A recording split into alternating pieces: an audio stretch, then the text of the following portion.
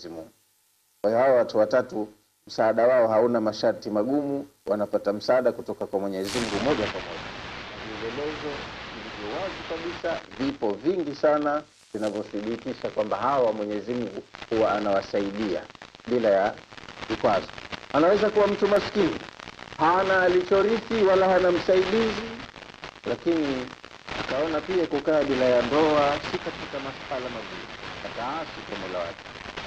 Kama hakuzini basi yatapita njia nyingine za matumizi ya zina, matumizi ya utupu ambazo zote zimeruhusiwa, eh, zote zimekataziwa.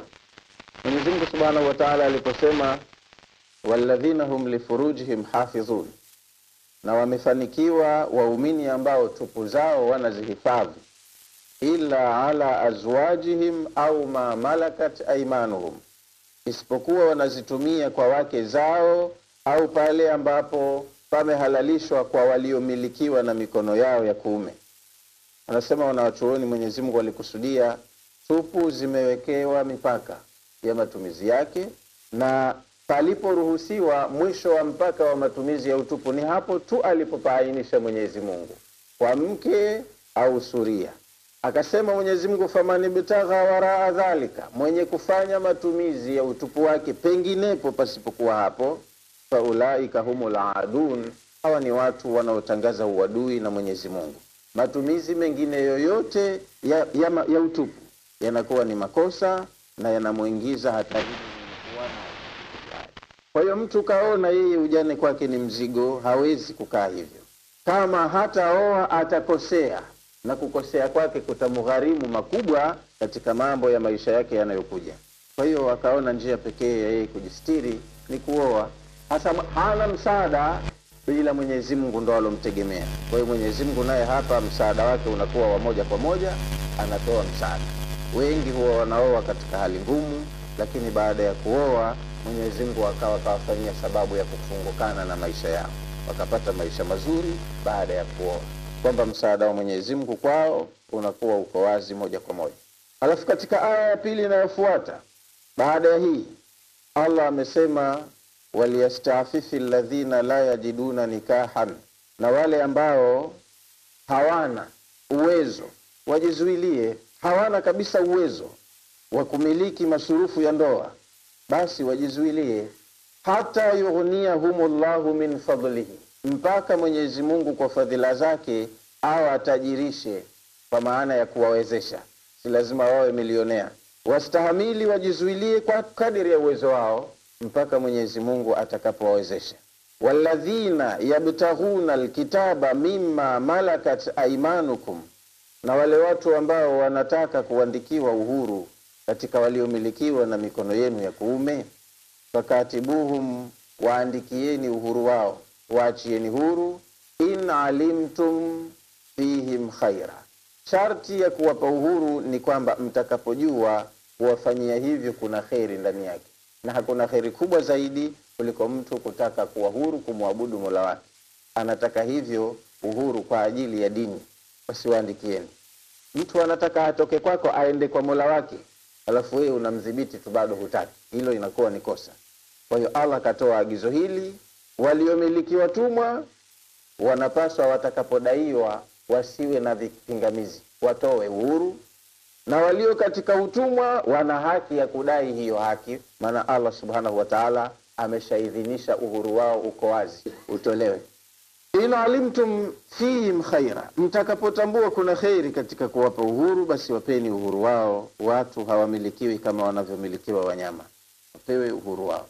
Waatuhum min mali llahi, na mtakapowapa uhuru wao wapeni watu hao katika mali ya Mwenyezi Mungu alladhi atakum, ambayo kakupeni. Kwa hiyo yeye unamwachia huru na unampa kianzio cha maisha. Ni haki ambayo Allah mwenyewe kaipendekeza, kama alivyopendekeza kwamba kwa mwanamke anayeachwa kapewa talaka, ametokana na ndoa, basi anapewa kitu cha kwenda kuanzia maisha mapya ya upweke anakokwenda, na kwa mtumwa naye vile vile limetolewa agizo hilo hapo anapopewa uhuru apewe na huyo bwana wake aliyekuwa bwana wake kitu ambacho kitamwezesha kwenda kuanzisha maisha mapya. Wala tukrihu fatayatikum ala lbighani, wala nyinyi mliomiliki hao watumwa msiwalazimishe watumwa wenu wa kike, msiwalazimishe wajakazi wenu kufanya suala la uhuni wa, wa, wa mapenzi.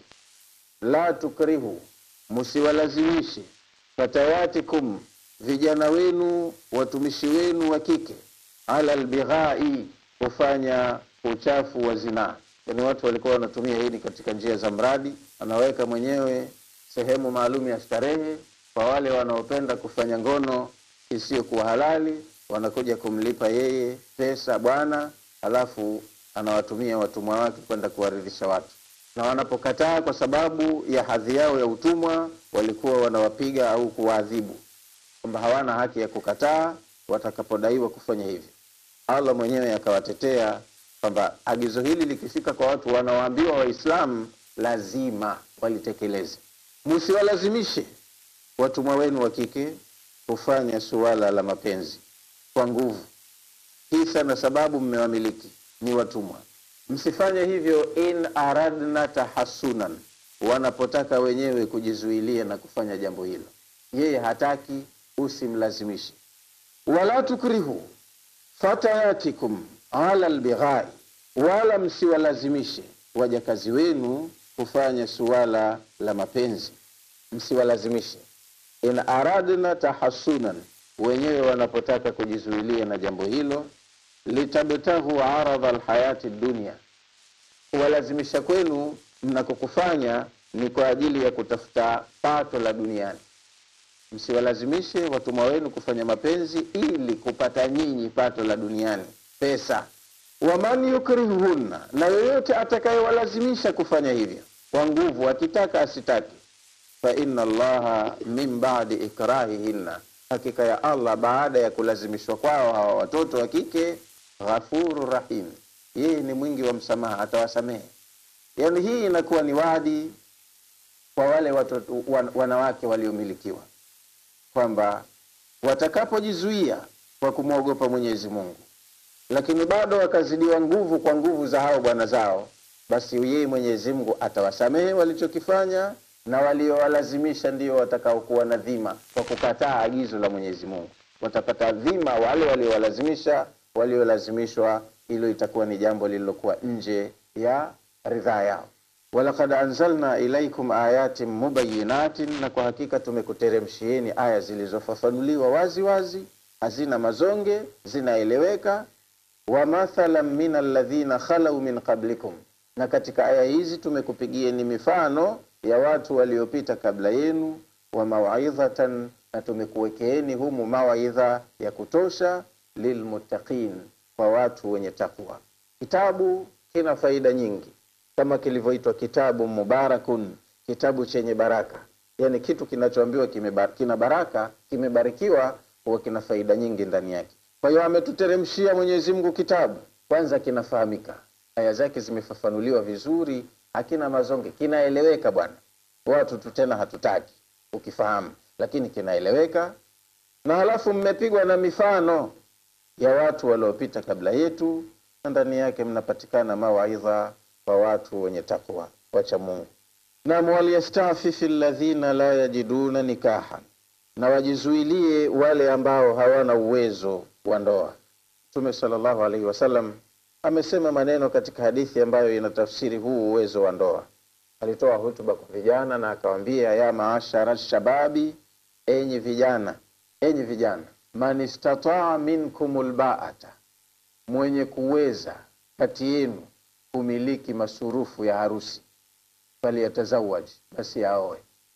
Hakusema atakayekuwa na nyumba, hakusema atakayekuwa na gari, hakusema mwenye farasi wazuri au mwenye nini, mwenye kumiliki gharama ya ndoa. Unakwenda kuposa na hujaambiwa lazima ukapose mtu tajiri ili wewe ukombokane na umaskini. Umeambiwa uoe, na lengo la kuoa limetajwa mwisho wa hiyo hadithi man istataa minkum lbaata, mwenye uwezo kati yenu wa gharama za ndoa, faliyatazawaj, aoe. Fainnaha, kwa sababu kufanya hivyo kuoa, ahsanu lilfarji wa aghadhu lilbasari, ni njia peke yake itakayokuwa ya unafuu na sahihi ya kuzuia na kudhibiti matumizi ya utupu na ndo njia peke yake ambayo kwa mtu haswa kwa huyo kijana itakayomwezesha kumiliki matumizi ya macho yake, ili asiangalie kwa matamanio, basi awa, awe na mtu ambaye anakuwa no, ndo sababu ya kumpunguzia matamanio yake, ili asitumie vibaya utupu wake, awe na pale pahala halali pa kuutumia utupu wake. Pahalali hapana, atafanya paharamu.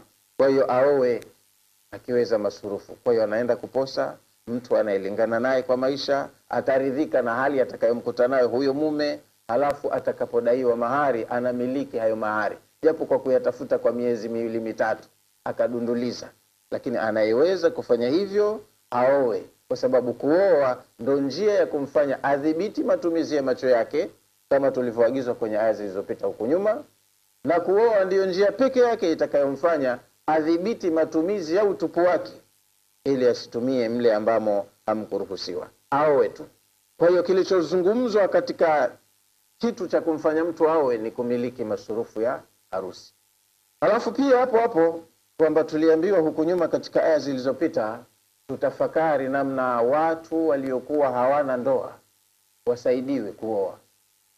Kwa hiyo hili suala la kwamba wapo vijana na ujana ndo ujana unajulikana athari zake.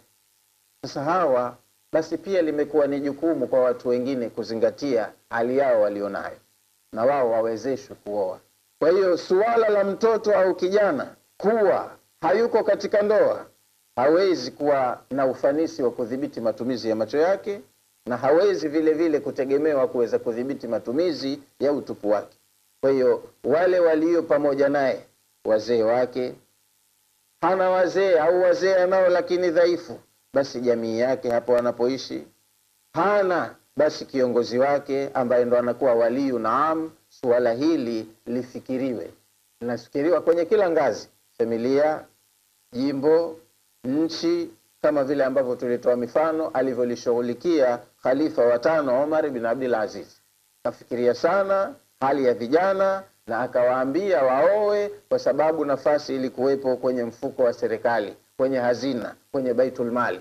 Kwa hiyo hazina ikafanya harusi za vijana wote kwa wakati huo, na mali Mwenyezi Mungu bado akawa anaipa baraka.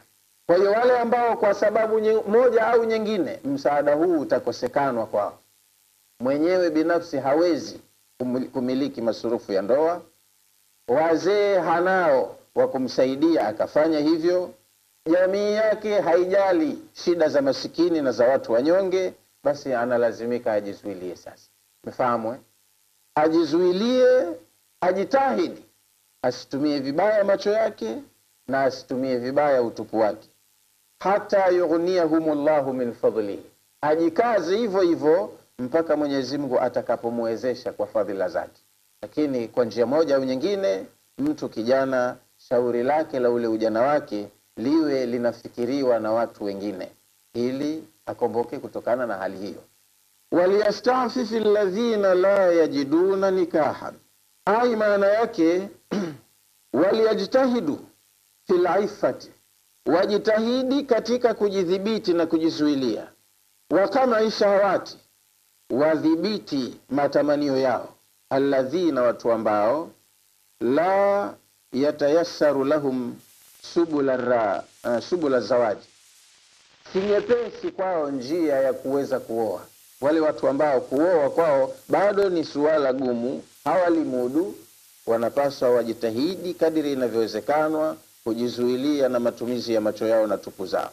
Alladhina, watu ambao la yatayassaru lahum, si, si rahisi kwao.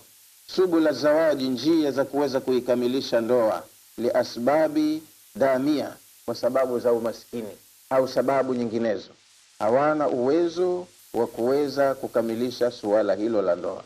Wajizuilii basi, hata yughniyahumullahu, mpaka Mwenyezi Mungu atakapowatajirisha min fadlihi, kwa fadhila zake. Mtume alimalizia ile hadithi yake kwa kusema waman lam yastati, asiimudu hayo masurufu ya ndoa man, eh, istataa minkum lbaata, mwenye kuweza masurufu ya ndoa kati yenu vijana, faliyatazawaj na aoe. Fainaha, kwa sababu kuoa aghadhu lilbasari wa ahsanu lilfajri- lilfardi, ndiyo njia bora ya kuhifadhi matumizi ya macho na ndiyo, ndio, ndiyo njia bora ya kuhifadhi matumizi ya utu.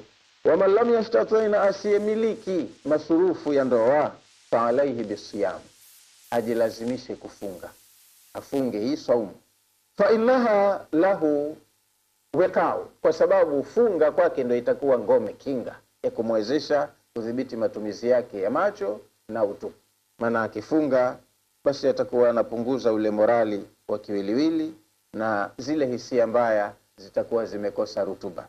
Lakini akala akashiba, basi kila kitu kinachukua nafasi yake mwilini na viungo bado viko fiti, vinaweza vikamshawishi kufanya mambo mengine ya makosa. Kwa hiyo akifunga, asaumu junnatun, funga inakuwa ni kinga, ni ngao ya kumzuilia mtu na kufanya makosa. Kwa hiyo kama hawezi kumiliki ndoa, afunge, atafunga tu bila limit, ili mradi matamanio yasiweze kummiliki akafanya makosa. Hata yughniyahum llahu min fadlihi, wajitahidi kufanya hivyo mpaka Mwenyezi Mungu atakapowawezesha kwa fadhila zake.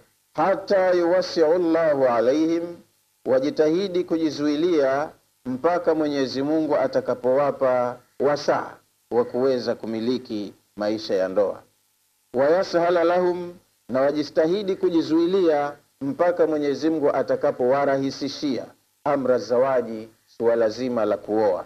Fa inna labda, kwa sababu mja wa Mwenyezi Mungu idha taka llah, anapomcha mola wake, jaala lahu min amrihi farajan wa makhraja, Mwenyezi Mungu hamtupi mkono, humpa tu kutokana na sababu ya lile alilolichelea matokeo, humpa Mwenyezi Mungu njia za kutoka. Anataka kuoa lakini umaskini umekuwa kikwazo, basi akiwa mcha Mungu, ucha Mungu wake na lile jambo la maafa lililomkabili, Mwenyezi Mungu hamdumishii lile kwa muda wote, atamjaalia tu makhraja.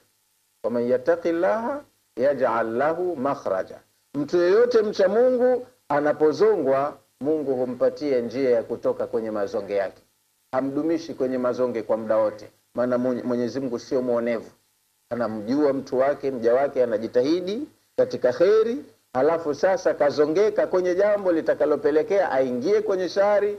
Allah hawezi kumdumisha hapo ikiwa bado atabaki na uchamungu wake. Uchamungu utamkomboa na atapewa njia ya kukombokana na hilo jambo lililomtanza. Kwa hiyo astahamili tu kidogo, wakati nia yake inajulikanwa na hali yake, kikwazo chake kinajulikanwa, na yule anayekijua ni muweza wa kila kitu atamsaidia tu, sio muda mrefu.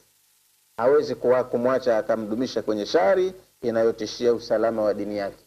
Na vielelezo pia vya kadhia hii kwenye Qur'ani viko vingi sana, kwamba watu wanapata msaada wa moja kwa moja kutoka kwa Mwenyezi Mungu kwa sababu ya uchamungu wao. Walladhina, na wale watu ambao yabtaghuna alkitaba, wanatafuta uhuru kutokana na utumwa waandikiwe kuwa wao ni watu huru. Mimma malakat aimanukum, katika wale waliomilikiwa na mikono yenu ya kuume. Ai, maana yake walladhina, na watu ambao yuriduna, wanataka an yatahar an yutaharau, wawekwe huru min riqi alubudia, kutokana na kifungo cha utumwa.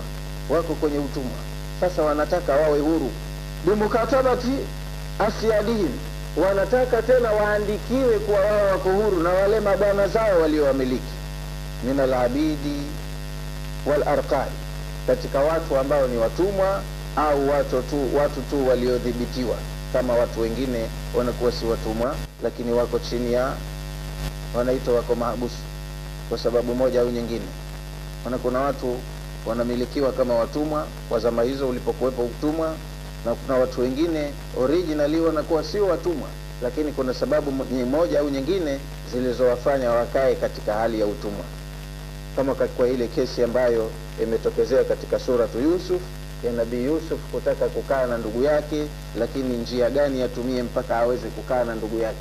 Sasa njia ambayo aliiona baada ya kufikiri kidogo, akaona ni kumsingizia wizi, kwa sababu kwa taratibu za sheria za wakati ule mwizi una haki ya kumfanya mtumwa.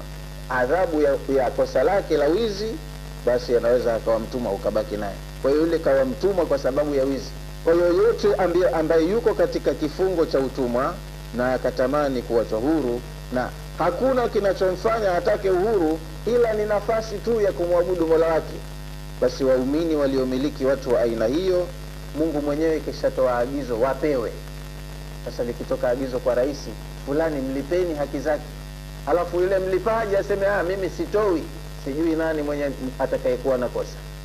Mwenyezi mungu mwenyewe kawaagiza waumini waliomiliki watumwa watakaotaka uhuru wao katika hao mliowamiliki waandikieni. Alafu wewe useme hapana mimi nimemnunua kwa pesa huyu na bado ninamhitaji ananzalishia mali simwandikii weye ndo utakuwa mkosa. Akidai umpe hiyo fursa maana yake imeshatolewa. Idhini imeshatolewa. Huyo ambaye ana authorize kisha authorize swala hilo. Ni haki yake. Kwa hiyo wote waliomilikiwa wapewe uhuru wao kwa maandishi watakapotaka kwa sababu ya kheri njema. Fakatibuhum waandikieni in kwa sharti ya kwamba alimtum fihim khaira munajua kutakuwa na kheri kwa kuwaandikia kwao. Ikiwa kheri hakuna mtakuwa mnayo haki ya kukataa kuwaandikia. Hawataki uhuru kwa kheri. Wanataka kwa shari basi mtakuwa mna haki ya kutokuwaandikia. Lakini in alimtum fihim khaira mtakapotambua kheri itapatikanwa kwa kupewa uhuru wapeni waandikieni uhuru wao. Fakatibuhum waandikieni. Ala kadri fakatibuhum waandikieni ala qadrin kwa kiasi min almali cha mali. Mnawapa uhuru na mnawaandikia kitu fulani cha mali. In ariftum ikiwa mtajua minhum kwao alamana ni waaminifu. Ile sababu walioitoa ndiyo ni ya kweli.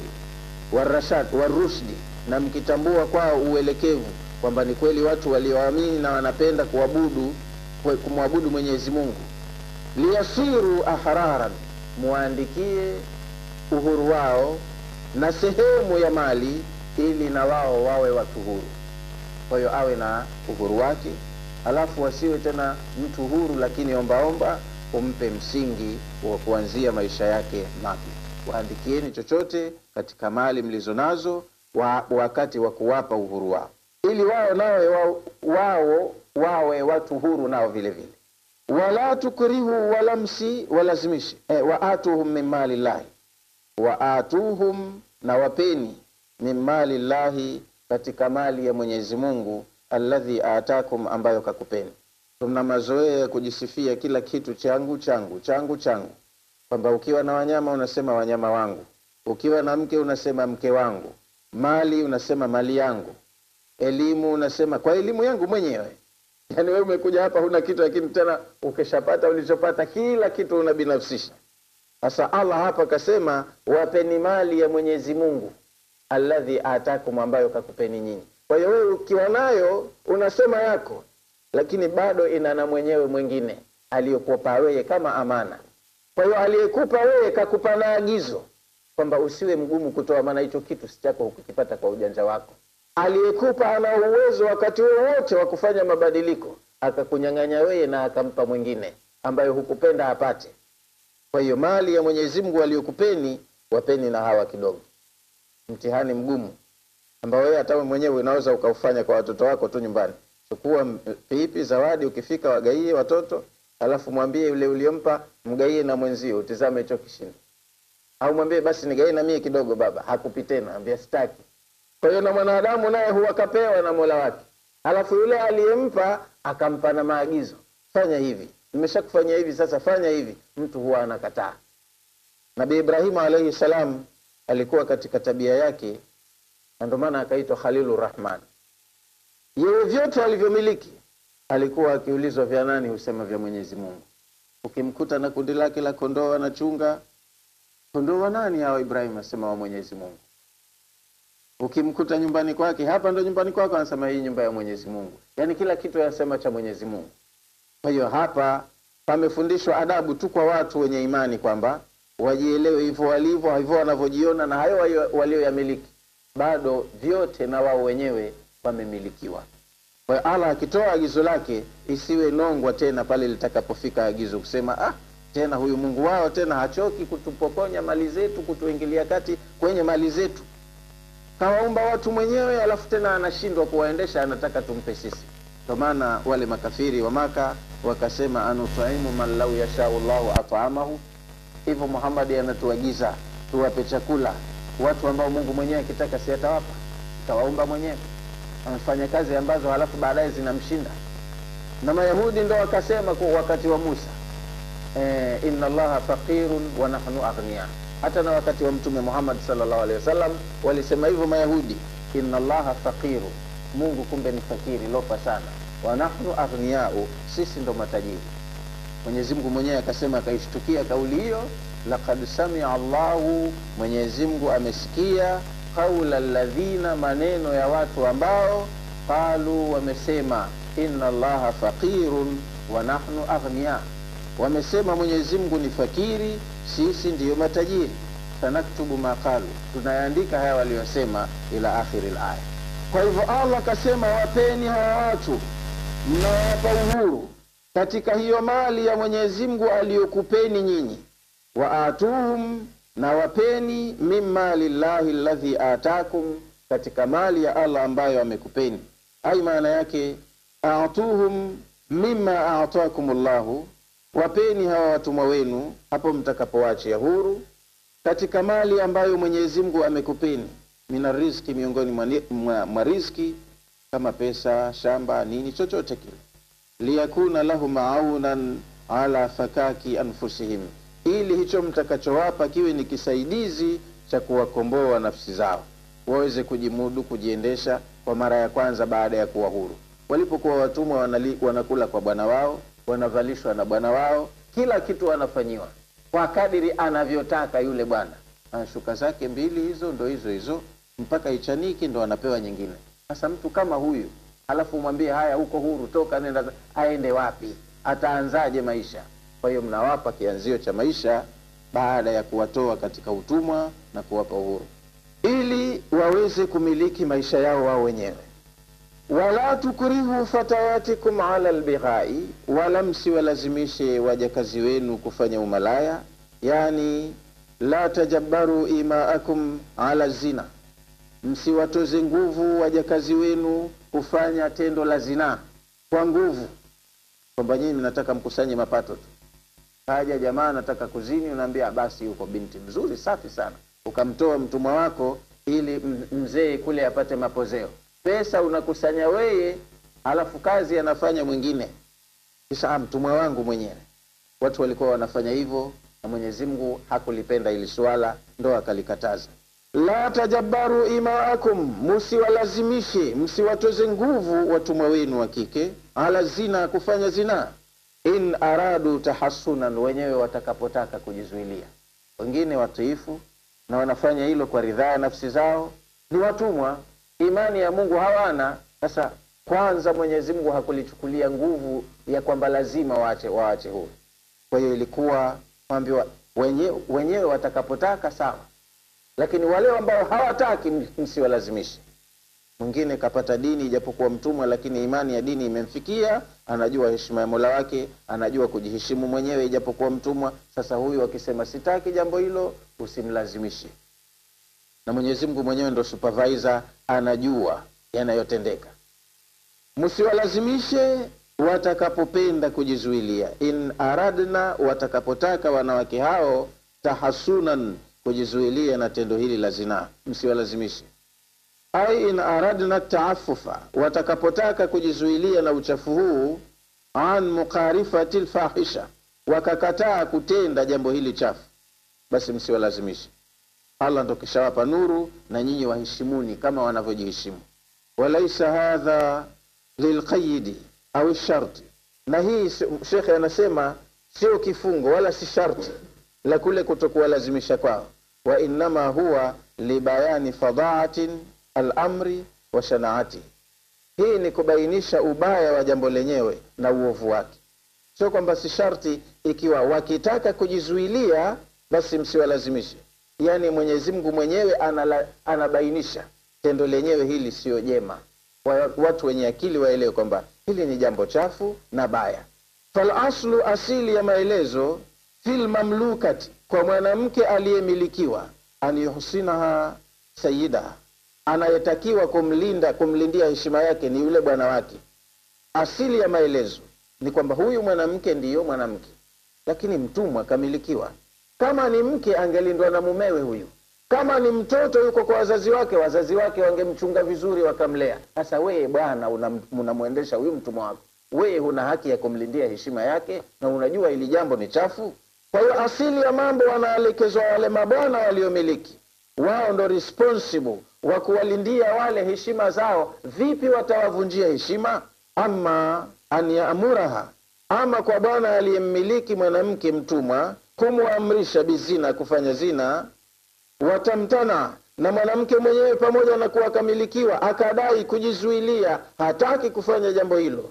Waturidu laifata na akataka kujihifadhi na kujilindia heshima yake. Fadhalika muntaha alkhisati hili ni katika jambo lilofikia katika upeo upeo wa hisia wa danaati na ukaribifu wa huyu mtu kwa mola wake. Minhu wa kule kutaka suala la hifadhi maana ni haki yake huyu bwana kumuhifadhi mtumwa wake. Lakini yeye akawa ndo sababu ya kumvunjia heshima yake. Mpaka mwanamke mwenyewe akadai apewe heshima ile basi uelewe hapa pana namna. Mwingine anamwogopa bwana wake akipewa amri anatekeleza tu japo amri haramu. Lakini mwingine pamoja na kujua kuwakamilikiwa anadai hili suala sitaki. Maana yeye ndo alikuwa amemchukia mtume kwa sababu nyingi zikiwemo hizi za kwamba yeye abdullah bni ubai bni salul alikuwa ni kiongozi anayeheshimiwa na watu wa madina. Lakini alipokuja mtume hadhi yake ikashuka watu wote wakawa wanamheshimu na kumtii mtume wasallam. Kwa hiyo akakasirika kuwa akapokonywa madaraka. Pili abdullah bni ubai bni saluli alikuwa ni mtu mwenye pesa lakini biashara zake zote za kumwingizia umehato au nyingi ni za haramu kama hizi za ulevi ulevi madanguro na mambo mengine sasa uislamu aliokuja nao muhammad haramisha biashara hizi. Kwa hiyo hii ikawa ni sababu ya kumchukia. Kaja kumvunjia mapato yake vyanzo vya mapato na mambo mengine kama hayo. Kwa hiyo abdullah bni ubai bn saluli alikuwa ana biashara ya madanguro. Anazinisha wanawake yeye anakusanya mapesa. Biashara ambayo mpaka sasa nazotelea mpaka hao wanaoambiwa wananchi zilizoendelea wanafanya. Mtu anakuwa ana biashara ya, ya hoteli na katika huduma za hotelini zinaisha pale akiwa ziwemo ili hoteli hiyo imefikia kiwango maana yake mteja huduma yoyote atakayoipata atakayoitaka ipatikane. Akija kuorodhesha kaunta anachokitaka katika vyakula anatiki vyakula anavyotumia. Katika burudani anatiki anachotaka kama sinema tv au video au nini au nini. Kila tarehe anatiki anayotaka. Mi nataka binti mwari kila siku nipate bikira mwingine nirimbue mwenyewe. Maana hiyo inabidi huyu mwenye hoteli aweke wengi sana asikuwa wapate mabikira. Akitakiwa atoe. Na huyu ndo mwenye pesa nyingi. Nasema taka unachotaka kimi nataka mtoto bikira. Kila siku kuna mwingine interest yake ni bikiri kuye kila siku. Sasa wangapi imagine watakaotakikana wawepo? Mwingine anasema mi interest yangu ninataka mwanamme. Basi ndo inakuwa hivyo. Hata sasa inabidi mwenye hoteli ili hoteli yake isifiwe na ipate wateja kutoka sehemu mbalimbali awe, aweke ma, mazingira ya kwamba kila lazima mteja wake kiwe kinapatikana. Kwa hiyo abdallah ibn Ubay ibn saluli naye alikuwa ni muhuni wa Ikea hichi alikuwa na biashara kama hizi. Anaisha mabinti ambao madina imeingia nuru ya uislamu. Umepenya mpaka kila pahala. Hata hao watumwa nao wanamjua mungu. Lakini bado pamoja na kwamba anaonekana kaslimu anawalazimisha mabinti wa kiislamu wanaomjua mungu wafanye jambo hili la uchafu na wakata kwa hiyo kama ana imani kweli allah akasema hili suala atakapojizuia mwenyewe marufuku. Maana wewe ndo umzuie wewe unamlazimisha kufanya. Imefahamika eh? huyu abdallahi bni ubai bni saluli almunafiku alikuwa ni mtu mnafiki roho yake. Alidhihirisha uislamu mdomoni kwake tu na alitenda vitendo vyenye kuonekana machoni mwa watu kwa ajili ya usalama wa mali yake na, na, na tatu lakini alikuwa hampendi mtume hata kumwona na alikuwa anayachukia maagizo anayopewa mtume au anayoyatoa. Kana lahu jari kahawani. Ibni ubai bni saluli alikuwa na wajakazi wawili yani hao watumwa wa kike mabinti wazuri wawili.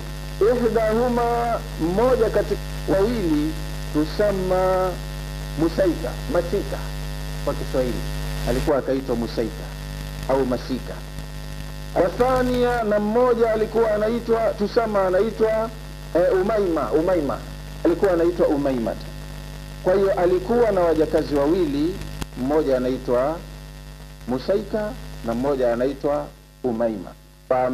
Fakana yaamuruhuma, ya alikuwa anawaamrisha wanawake hawa bizina wazini, anawasha kuamrisha zini. Lilkasbi, ili yeye akusanye mapato, analipwa yeye, lakini kazi wanafanya wengine. Alikuwa anawatendo wazini lilkasbi, ili yeye akusanye mapato, wawadhribuhuma, na alikuwa anawapiga. Ala dhalika, kwa, kwa mbilo, wakikataa anawapiga. Fashtaka dhalika ila rasulillahi, wanawake hawa wote wakenda wakalishtaki jambo lile mtume wa Mwenyezi Mungu sallallahu alaihi wasallam. Kwa hiyo watumwa, lakini walitoroka na wakenda wakashtaki wanavyofanyiwa na bwana wao. Fanazalatil aya, ikashuka hii aya, mtume akapewa hili agizo kutoka kwa Mwenyezi Mungu alipeleke kwa watu, litafika mpaka kwa Ibn, e, Ibni Saluli mwenyewe wala tukrihu fatayatikum ala albighai, msiwalazimishe wajakazi wenu kufanya zinaa. In aradna tahasunan, wao wenyewe wakidai kujizuilia.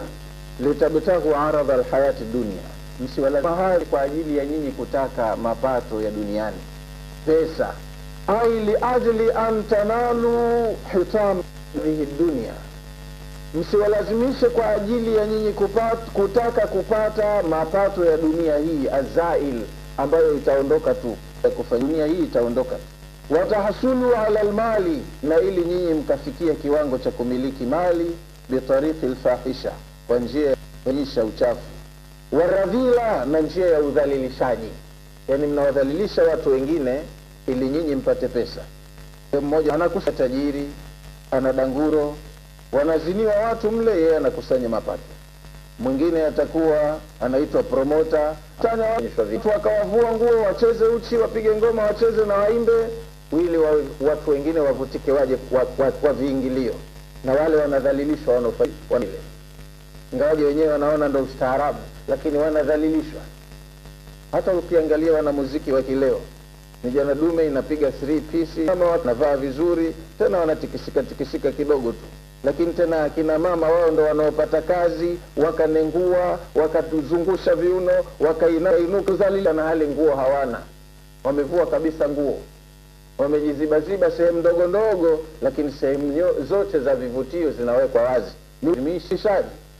Kwa hiyo Allah akawatetea kwa njia hii, waman yakrahunna waman yukrihuhunna, na yoyote atakayewalazimisha wanawake kufanya zinaa kwa ajili ya wao kuhisabu mapato, fa inna allaha min ba'di ikrahihinna, Allah baada ya kulazimishwa kwao ana wale ghafurun rahim, atakuwa ni mwenye kuwasamehe kwa sababu ni mwingi wa rehema.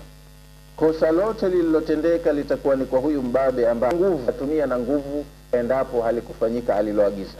Aywa man yukrihuhunna man yujabbiruhunna, mwenye kuwatoza rahim ala zina kuwalazimisha lazima wazini, fa inna allaha ghafurun lahunna, hakika Allah atakuwa ni mwenye kuwasamehe. Imun bihinna, na ni mwenye rehema kwa atawarehemu. La yuakhidhuhunna, hawezi kuwaadhibu hawa bizina, kwa kosa la zina, liannahunna akrahna alaihi, kwa sababu wao walichukia jambo hili. Na mpaka wakafika kutamka hali ya kuwa wanajua kuwa wamemilikiwa, lakini tamkitatika kuomba kwamba suala hili waepushiwe, hawalitaki, lakini bado wakapigwa na kulazimishwa kulifanya. Kwa hiyo Allah atawasamehe hizo. Na wakisamehewa watalipwa ujira kwa kudhalilishwa walikodhalilishwa. Makosa yatakwenda kwa huyu sasa mdhalilishaji. Tantakimu, atalipiza kisasi Mwenyezi Mungu, mimman akrahahunna, dhidi ya yule aliyewalazimisha kufanya uchafu hali ya kuwa wenyewe wamebia sharan intiqamin, tena kisasi kibaya atakacholipiza Mwenyezi Mungu. Maana aliyetoa agizo watu wavue nguo, yeye ndo anadhani, na, na wale waliolazimishwa kuvua nguo watakuwa ni wenye kusamehewa. Aliyetoa agizo lazima waziniwe, basi yeye ndo atakayekuwa mwenye dhambi, kati walioziniwa watakuwa wameepushiwa na makosa. Kuna kesi moja imetokezea live hiyo katika miaka ya sabini sabini hivi tangu wakachana utawala wa mwenyewe Bwana Julius Nyerere, kuna shule moja inaitwa Tabora Girls, shule ya sekondari ya wasichana Tabora. Kulifanyika kule vitu wanaita sijui wenyewe mikutano hii ya kiserikali, na wakubwa kwenda pahala ukasikia wana mikutano, wana semina, wana hivi, huwa hawalali vitanda vya peke, waheshimiwa. Kwa hiyo wale waheshimiwa huwa wanapewa ni mwanamke, wanatoa watendaji wale wa- wakubwa, wanatoa sehemu mbalimbali.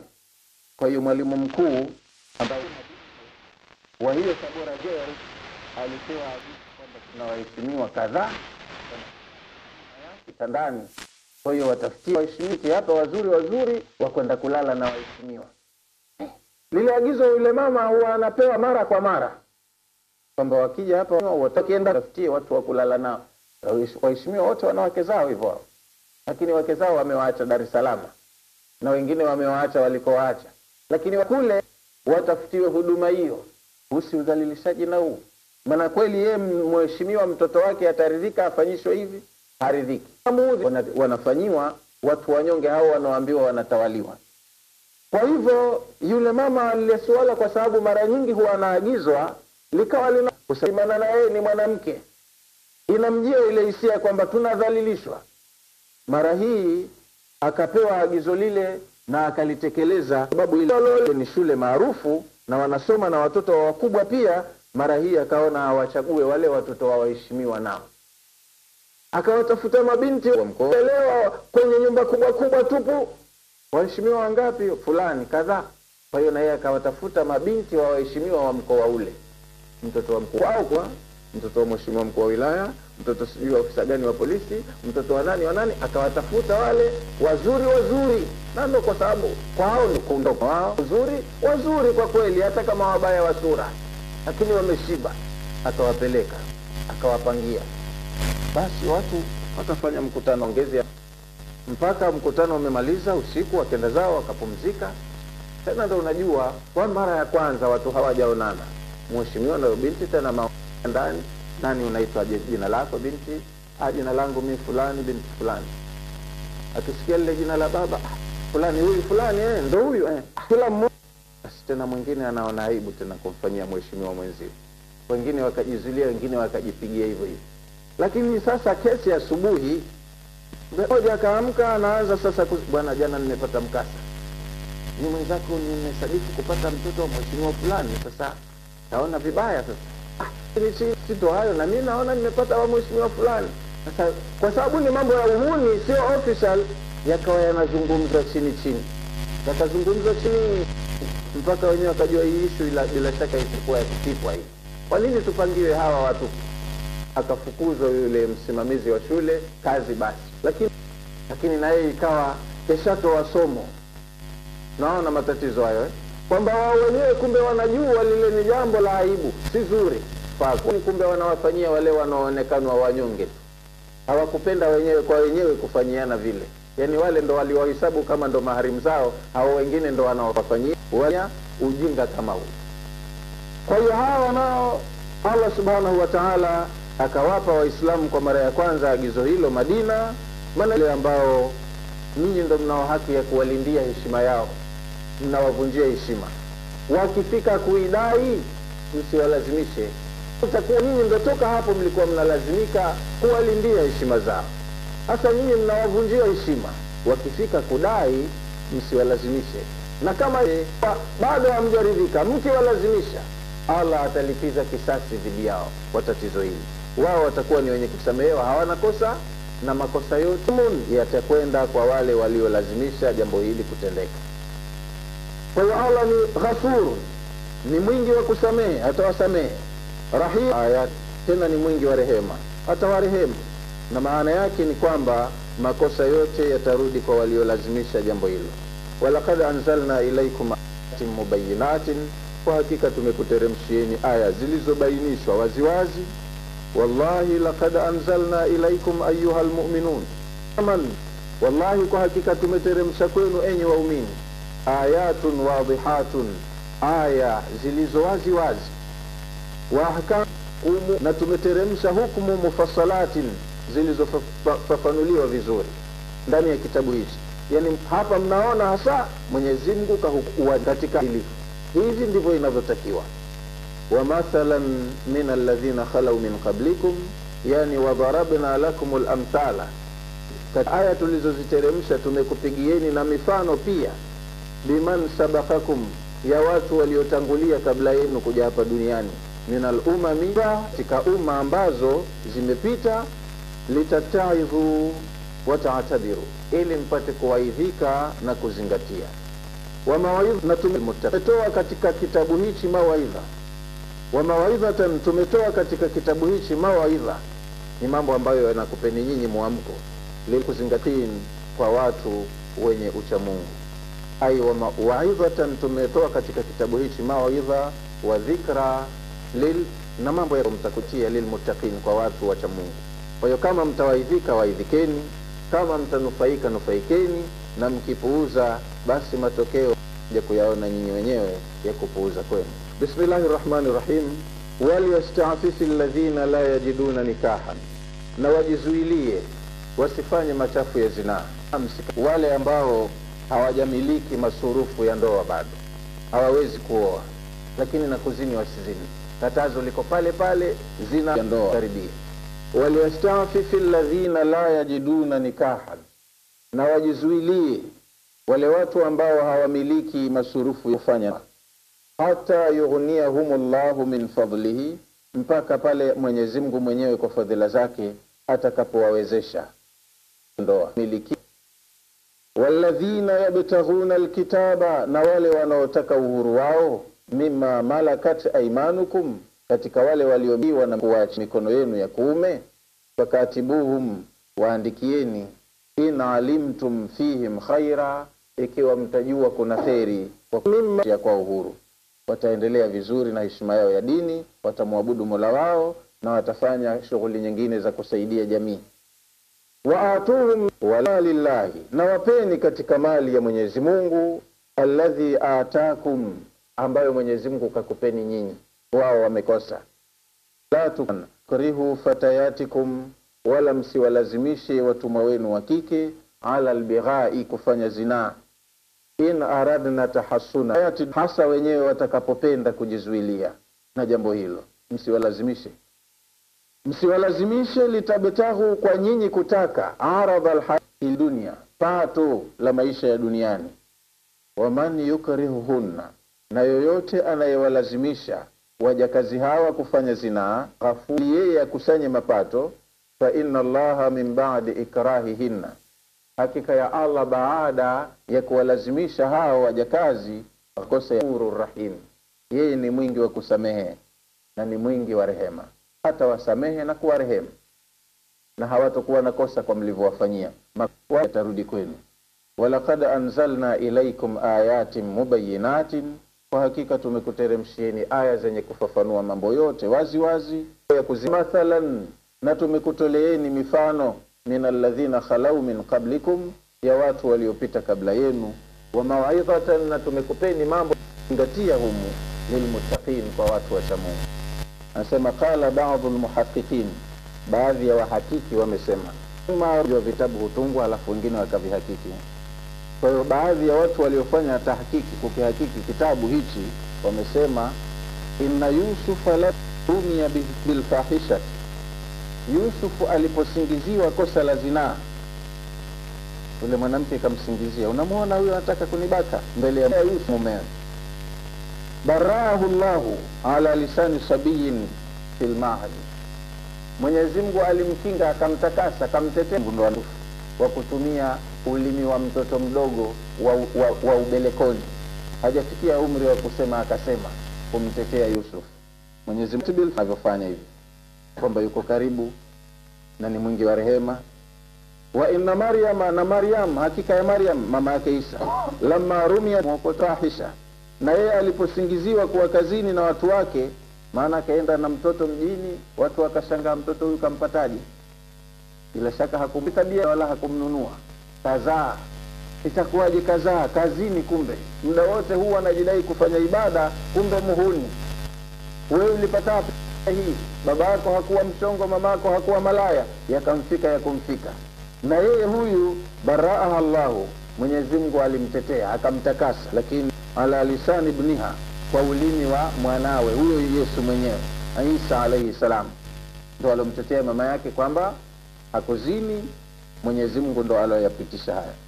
Wa inna aishata na aisha naye mke wa mtume salllahu alehi wasallam lama rumiat bifahishati alipotumiwa aliporembelewa kosa la zina baraaha llahu fi kitabihi laziz mwenyezi mungu amemtakasa mwenyewe kwenye kitabu cha kufu rekodi ya kutakaswa kwake na kosa hilo imebakia katika kitabu kitukufu.